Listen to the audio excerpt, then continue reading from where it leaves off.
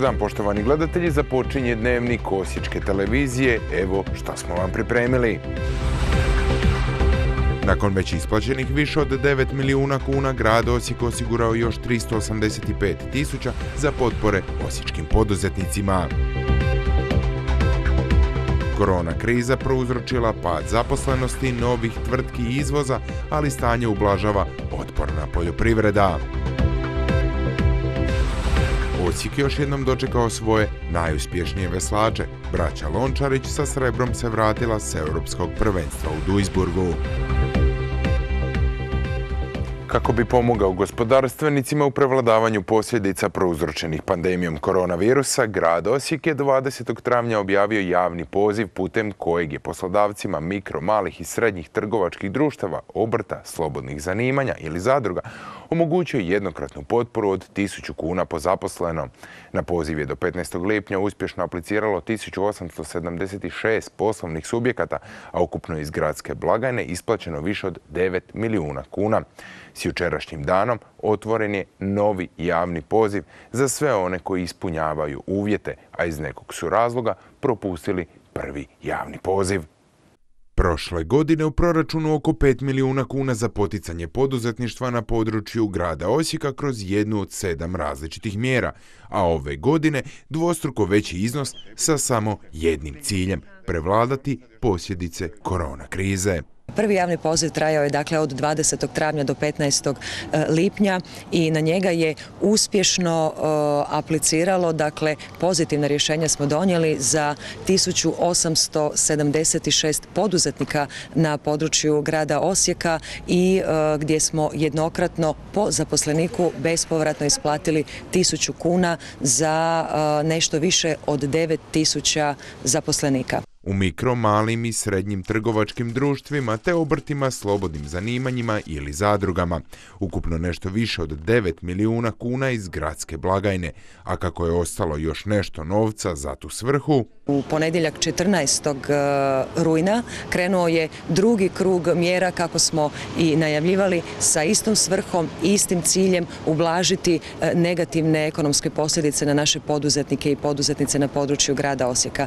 E, javni poziv raspisan je dakle 14. rujna, trajaće do 2. listopada, odnosno do istrpljenja sredstava koja smo osigurali, riječ je o 385 tisuća kuna. Aplicirati mogu isključivo poslovni subjekti u privatnom vlasništvu sa sjedištem na području grada Osijeka i čije su prijave na Hrvatskom zavodu za zapošljavanje pozitivno ocijenjene. Naravno da je ovaj drugi poziv e, prije svega usmjeren e, i jedino usmjeren onima koji nisu sudjelovali iz različitih razloga na prvom javnom pozivu, dakle koji do sada u okviru ovog programa nisu aplicirali i nisu ostvarili podršku financijskog grada Osijeka.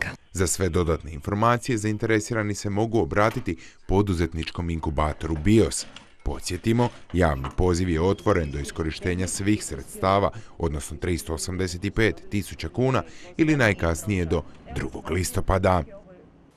Iako su zdravstvene posljedice koronavirusa daleko sežne i zabrinjavajuće, ono što je još značajnije jest utjecaj na gospodarstvo. Bilanca za prvi dio godine polako se slažu, a kada je riječ o osječko-baranskom gospodarstvu, čini se kako i nije sve tako crno.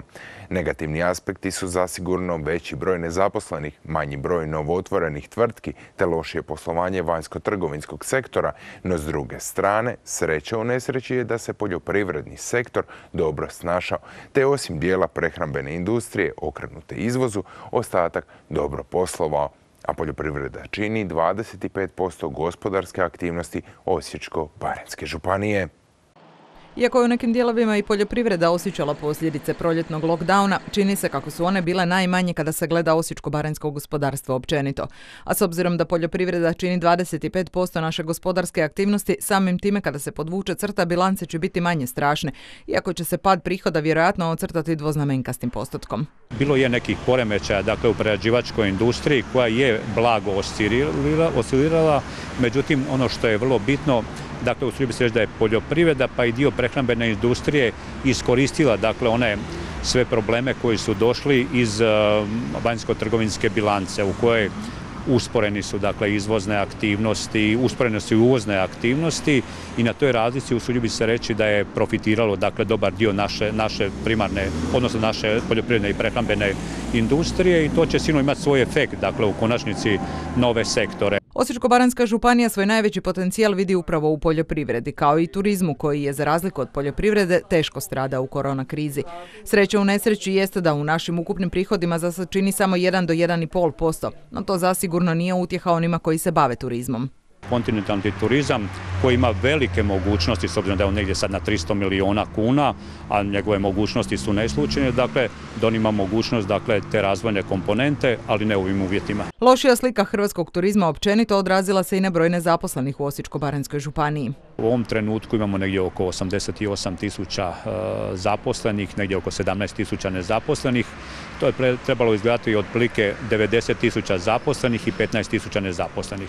Dakle, usudio bi se reći da te dvije tisuće e, nezaposlenih koji su zapravo trebali biti u radnom odnosu, da je to zapravo izgubio onaj sezonski dio, a to je turizam, odnosno sezonski poslovi u poljoprivredi. Osjeti se smanjena gospodarska aktivnost i na otvaranju tvrtki gdje je prošle godine bilježen rast, a broj likvidnih novootvorenih kretao se između 300 i 500. U prvome dijelu ove godine otvoreno je svega 210, a zatvoreno 260 poduzeća. Najgore u svemu prošli su oni koji su izvozno orijentirani. Prije svega bih krenio dakle, od onih svih mogućnosti koje je nudila dakle, prehrambena industrija u izvozu, e, papirna industrija, kemijska industrija, e, industrija strojeva posebice, jer ona je već patila iz zadnjeg kvartala prethodne godine. Tako da u bi se te četiri dakle, industrije, one su najviše izgubile i to će se reflektirati dakle, upravo u onom a usudio bi se reći možda i gubitku gospodarstva i padu ukupnog prihoda do desetak posto. Iako korona kriza i dalje traje, gospodarstvo se polako počinje oporavljati. Kontaktirajući sa, ajde usudio se reći, sa velikim sustavima koji čine gotovo 60% našeg gospodarstva, dakle povratka na staro nema zatvaranja nema. Dakle, onaj prvotni šok koji je bio u Ožujku, on je bio dobra škola, u ovom trenutku niko ni ne pomišlja u tom kontekstu i mislim da je najgore prošlo. Nadajmo se da će iz svega biti izvučena i pouka, posebice kada je riječ o dostatnoj proizvodnji hrane, ali činjenici da je poljoprivreda opstala unatoč svim potresima. Nacionalni projekt zapošljavanja žena s nižom razinom obrazovanja, poznati i pod nazivom Zaželi, provodi se kroz inačicu Osnažena putem gradskih društava Crvenog križa. Osječki Crveni križ bio je također svojevrsni most u povezivanju žena s jedne te korisnika s druge strane. Projekt je službeno okončan završnom konferencijom na kojoj su podijeljene diplome onim ženama koje su tijekom dvije godine skrbile od 400 starijih osoba na području grada Osijeka. Istaknuto kako je već aplicirana prijava i za nastavak projekta kojim bi bilo obuhvaćeno i više žena nego u prvom dijelu. Sve su ove žene neka na nekom području bile svakodnevna pomoć starim osobama u obavljanju različitih aktivnosti, od brige za higijenu, spremanja doma, odlaske liječniku do zajedništva u borbi protiv usamljenosti. Radile su to rado svjesne da visoka dobi starost donose ograničenja i potrebe takvih osoba. Drugi motivator bila im je činjenica da im je to bio i službeno posao s plaćom i stažom, često dugo čekan i jedva dočekan. Ja sam evo imala korist tu da sam imala redovitu plaću, bila sam zadovoljna s plaćom, a naši krajni korisnici su bili ovaj jako zadovoljni našim znači uslugama. To je ovaj pomoć u kući, dostava hrane, dostava lijekova i plaćanje računa. Znači uz ono što im pomažemo i u kući. Sad na kraju sam imala osam korisnika, jako sam se povezala s njima i ovaj, njima, nekim korisnicima stvarno život znači to što ja dođem ne znaju kako će kad ovaj projekt završi, kako će živjeti uopće. Bez ovog projekta ja bi bila u biti nezaposlena osoba, bila bi na birovu i čekala bi priliku ponovo da se vratim u Crveni križ jer radim treću sezonu kao kolegica i ovaj zaista smo sretni i zadovoljni i uvjetima rada i, i e, našim šefovima i našim korisnicima, tak da uvijek bi se vratila u Crveni križ. Potreba starije populacije za raznim oblicima pomoći iznimno su svjesni u Osječkom Crvenom križu, godinama provode razne socijalno-društvene projekte, a projekt Osnažena nazivaju krunom tih napora. 12 godina mi se prijavljujemo na razne projekte, na mjere javnih radova i imamo programe sa gradom upravo sa pružanjem tih uslugama starima i nemoćnima, odnosno usluge pomoći u svakodnevnim kućnim poslovima, svakodnevnim životnim poslovima. Projekt Projekt se provodio evo dvije godine, bilo je zaposleno 35 žena, uključeno preko 400 korisnika, ukupno krajnjih, obavljeno je gotovo 80 tisuća usluga po kućama, a bili su obuhvaćena područja grada Osijeka i četiri općine, općina Šodolovci, općina Čepin, Vladislavci i Vuka. 33 žene uspješno su završile svoju edukaciju i time su zapravo ostvareni i rezultati projekta, ciljevi projekta da im se poveća njihova kompetencija na tržištu rada i moguće zapošljavanje nakon provedbe ovog projekta. Grad Osijek je od prvog dana e, partner na projektu, tako da je u okviru projekta na području grada Osijeka zaposleno 13 žena i e, korisnika je 158 e, korisnika. Vrijednost ovog projekta bila je 5,5 milijuna kuna, a zbog velikog interesa žena te potreba starijih iz Osječkog crvenog križa aplicirali su prijavu i za nastavak projekta u okviru kojega bi zaposlili i više žena nego li u prvom ciklusu. Taj novi ciklus trebao bi krenuti početkom iduće godine, pa zainteresirane žene trebaju pratiti objave na stranicama Crvenog križa. U Hrvatskoj u posljednja 24 sata zabilježen 151 novi slučaj zaraze koronavirusom, od ukupno testirane 5571 osobe. Nažalost, tri su osobe preminule. Na bolničkom liječenju se nalazi 299 pacijenata. Od ukupnog broja novozaraženih 10 dolazi iz područja Osječko-Baranske županije, najviše 4 iz Čepina. Epidemiolozi su mjeru samoizolacije odredili za šest novih kontakata. U susjednoj Vukovarsko-Srijemskoj županiji testirano je 112 osoba, od čega je pozitivno bilo njih pet. U Osječko-Baranjskoj županiji testirano je ukupno 315 osoba, te je od tog broja 10 novo pozitivno na koronavirus. I danas se najveći broj oboljelih nalazi u općini Čepin, a po dvije osobe su s područja Darde i Osijeka, te po jedna iz Čeminca i šireg područja grada Belišća.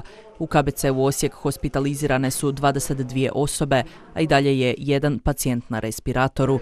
Epidemiolozi su mjeru samoizolacije odredili za novih šest kontakata, te se u našoj županiji pod tom mjerom nalazi 269 osoba. Policijska uprava Osječko-Baranjska provjeravala je osobe u samoizolaciji i nije utvrđeno niti jedno kršenje te mjere. KBC Osijek od sutra će obavljati uzimanje brisa na još jednoj lokaciji kako bi se smanjile gužve.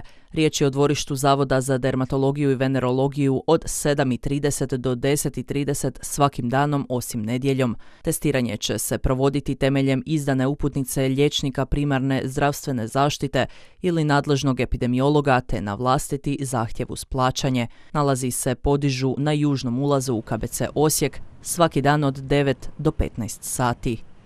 U Vukovarsko-Srijemskoj županiji pet je novih pozitivnih osoba na COVID-19.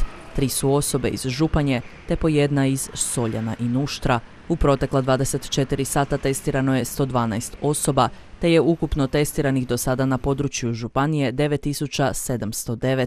Trenutno je pet osoba hospitalizirano zbog COVID-19 bolesti. U samoizolaciji na području Županije je 264 osobe. Od početka epidemije ukupan broj oboljelih osoba je 711, od kojih je 598 osoba izlječeno, a ukupno je 14 preminulih osoba. Od ukupnog broja pozitivnih u Vukovarsko-Srijemskoj županiji je pozitivno četiri radnika iz sustava zdravstva, a u samoj izolaciji ih se nalazi deset.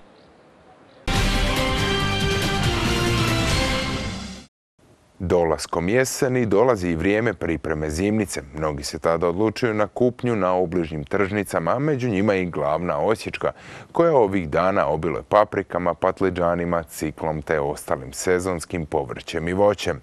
Građani su zato ovo jutro rezervirali za kupnju većinom rog paprike, koja se na tržnici može pronaći po cijenama od 8 do 10 kuna, a mnogi ističu kako veliku ulogu kod kupnje na tržnici igra kvaliteta namirnica ajvar, kisela paprika i krastavci, pinđur, cikla, neke su od zimnica koje se uvijek nađu na stolu Hrvata, a najslađe je ipak kada se odluči pripremiti ona domaća, koja je znamo uvijek bolji izbor od kupovne. Zato građani polako kreću u nabavku namirnica, a mnogi stariji uglavnom pripremaju za svoje bližnje. Obitelj je velika, svi volimo i pečenu papriku, i ajvar, i miješanu salatu, i sve volimo. Imate li neki svoj recept tradicionalni? Pa ima, to vam je sve napisano, zapisano i, Svake godine i svake godine isto i svi su zadovoljni. Samo neke količina velika. Recite nam evo kakve su cijene ove godine u usporedbi s prošlima. Pa meni se sad čini da je ovdje kod ove gospođe najpovoljniji, zato sam i uzela jer velika je količina. Ovako zadovoljni kvalitetom na Osječkoj tržnici. Jako lijepo izgleda, sve je svježe. Dvije kutije bit će dovoljno za ajvar. Pa zavisi koliko hoćete. Za sada će biti dovoljno, obično napravim i tri ture, pošto i sinu dajem i tako da... A recite nam, inače se okrećete više Osječkoj tržnici kad je u pitanju recimo sezonsko voće povrće. Što se najčešće pravi u vašem domu? Ha, slušajte, od paprike, krastavaca, onda paradajz, što se spravi, evo tako. Držite jako veliku vrećicu paprika, pripremate li se to za zimnicu možda? Što se pravi? Pravim paprikus kuhanu u- sa medom. Cikla, cikla, cikla, cikla. To vam je najdraže. Pa da, pa to ona najbolje voli. A recite nam, e, evo vi inače pretpostavljam pravite onda zimnicu, kupujete li ovdje na Osječkoj tržnici za zimnicu? Uvijek, uvijek. Pa i neki dan smo šljive, dok je bila sezona šljiva, tri puta smo uzimali pekmez pravila i tako. Mi sve odavde kupujemo. Evo juče smo napravili 16 tegli ajvara. Sad još evo pečem paprike, a imam već 20 vrećica pečene paprike. Paprika roga na tržnici je cijene od 8 do 10 kuna, dok žute ne prelaze 7 kuna. Patliđan se može pronaći po cijeni od 4 do 6 kuna po kili, a građani smatraju da su cijene nešto veće nego prošle godine. Ipak rađe će odabrati domaće, pa makar i skuplje. Kakve su vam cijene u usporedbi s onima od prošle godine na ovoj osječkoj tržnici? Da je malo sve veća cijena zato što je i godina takva. Malo su poskupile. Dosta su ih digli. Ne pratim to, ali volim domaće i volim, evo ova gospođa ima predivnu papriku, debelu. Meni je bitno da je to nije iz trgovačkog centra. Gledao sam male one kornišone, 20 kuna, to je preskupo. U Preskupo. odnosu na prošlu godinu preskupo. Gledam papriku pošto je. Dobro, i što kažete na cijene? Pa i lani je bilo tako. Znači, pretpostavljate da su iste kao i prošle godine? E, isto, ili ja sam lani kupovala, isto je bila ovaj, tako. Proizvođači čekaju građane na štandovima, priznajući kako ima nešto manje kupaca, ali ne odustaju. Da nema naših mušterija, ne znam šta bi radili, ali mi smo tu godinama već, pa onda znate, to tako ide. I e, paradajz i paprika, sad to sve skupa je diskutabilno, ne ide to još tako onako. Mislim da će još uvijek ići za zimnicu, samo dok eto malo ljudi dahnu. Jeste li povećavali cijene na prošlu godinu? Ne, ništa nismo. To je kako idu cijene, tako su i sad. Kako vam ide za sada prodaja sezonskog povrća vezano za zimnicu? Pa onako osrednje, osrednje, ništa pretjerano. Mislite li prošle godine da je bilo više kupovanja? Više, bilo je više. Što Prošlo. se tiče cijena, kakve su vam u odnosu na prošlu godinu? Cijene su kao i prošle godine. E, to je to. A Što se najčešće kupuje od svega što imate? Rajčica, grožđe i to je to. Jesen je pravo vrijeme za pripremu zimnice. Iako je to nešto zahtjevniji posao, dobro se zna za blagodati ove vrste hrane, koja će nas ove zime zaštititi od bolesti i pritom obogatiti svako jelo. Iako postoje tek četiri godine, a u službenim natjecanjima sudjeluju tek godinu i pol dana, članovi plivačkog kluba Vukovar već imaju zapažene rezultate. S posljednjeg regionalnog prvenstva Hrvatske za regiju 4, plivači i plivačice ovoga kluba vratili su se s 53 medalje, a zbog njihovih uspjeha danas ih je primio vukovarski gradonačelnik Ivan Penava.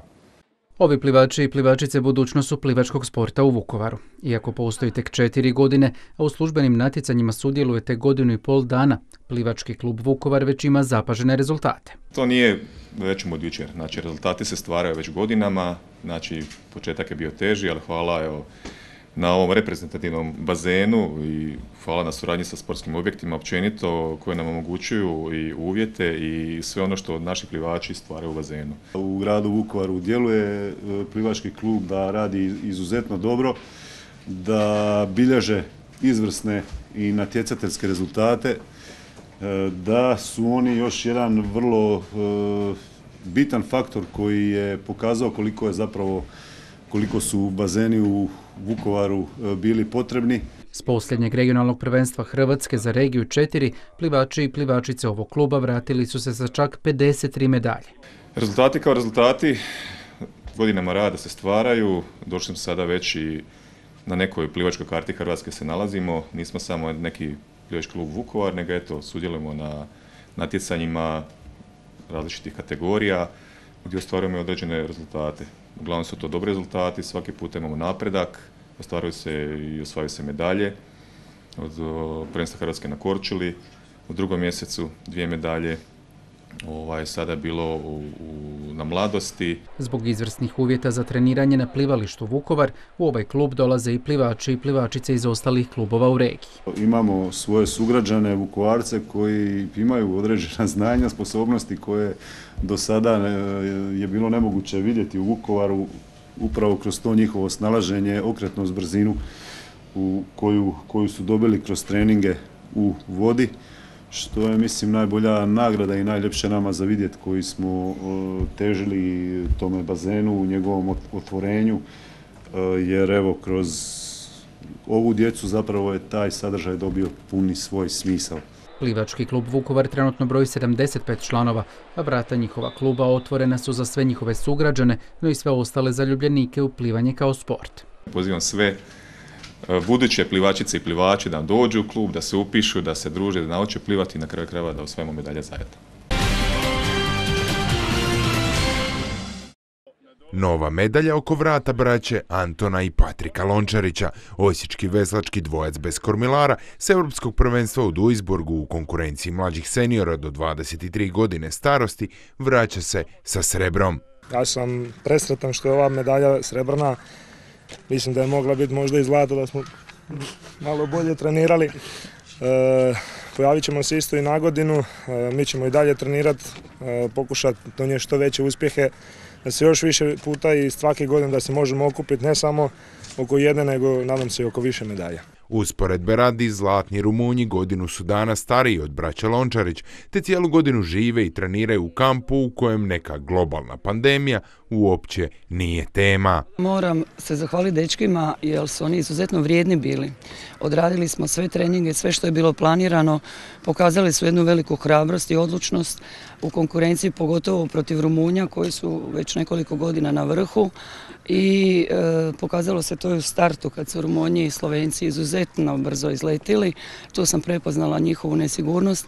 Nadamo se da ćemo i dalje nastaviti tako raditi i vrijedno trenirati. Iako najvažniji dio priprema odrađuju u Zagrebu kao sparing partneri braće Sinković, a gdje su proteklog vikenda po povratku iz Duisburga obranili i naslov seniorskih prvaka Hrvatske, za Lončariće dvojbe nema. Njihov je dom Veslački klub Iktus. Sportska infrastruktura u gradu Osijeku, Osječko-baranjskoj županiji treba i mora biti kvalitetnija, bolja i biti će naravno. Sa sportskom infrastrukturom dobivamo ovakve dečke i djevojke koji su vrhunski sportaši i na taj način pomažemo naravno i novim generacijama i mladim ljudima koji će danas sutra ići vašim stopama kako u veslinu tako i svim drugim sportovima. Velika zahvala svima e, koji usmjeravaju našu djecu, osjećanke i osjećane da za svoj izbor kroz život izaberu sport. Stoga ovom prilikom uistinu zahvala i e, roditeljima. Gradi Županija Lončariće su za ostvareni rezultat nagradili su ukupno 30 tisuća kuna, no više od toga sigurno ih veseli obećanje kako veslački klub Iktus neće izgubiti krov nad glavom, što je jedno vrijeme bila aktualna tema.